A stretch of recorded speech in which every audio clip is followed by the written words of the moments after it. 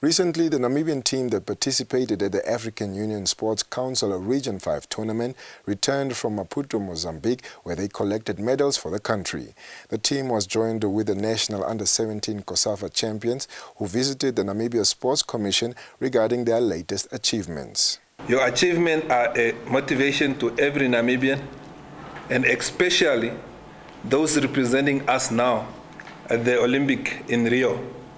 Brazil, for you have sown the seed of victories.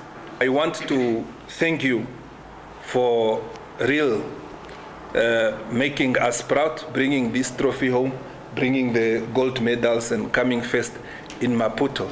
It's a proud of the nation, and that's what I want.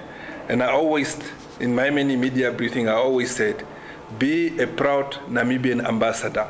And you have been not only been proud as a representative, but also being proud as a winner and a victory at the end of the day.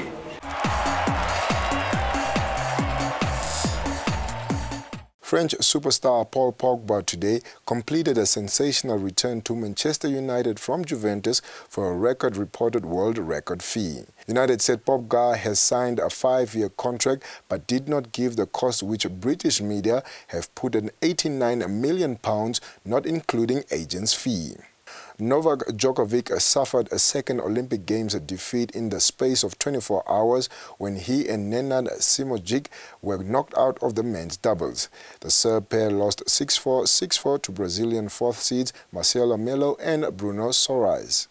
Last year, 18-year-old Yusra Mardini swam for three and a half hours to save the lives of her fellow Syrian refugees.